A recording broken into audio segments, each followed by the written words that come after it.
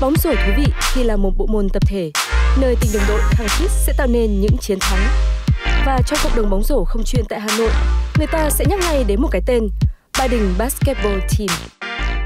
Tôi là Nguyễn Hoàng Long, hiện tại đang là đội trưởng của đội ờ, của câu lạc bộ bóng rổ Ba Đình. Thì uh, đội bóng uh, của câu lạc bộ bóng rổ Ba Đình đã được thành lập được khoảng 60 năm bởi các bậc cha chú đi trước. Vậy điều gì đã khiến cho Ba Đình Basketball Team trở nên khác biệt?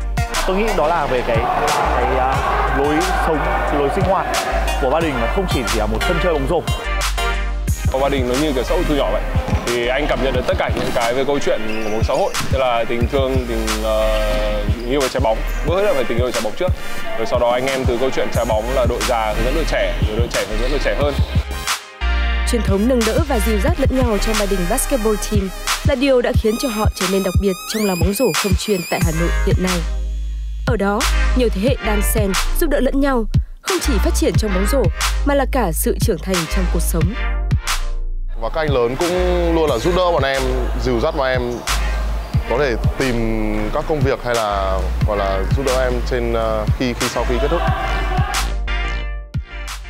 À, em thì em nghĩ là em sẽ gắn gắn kết với gia đình.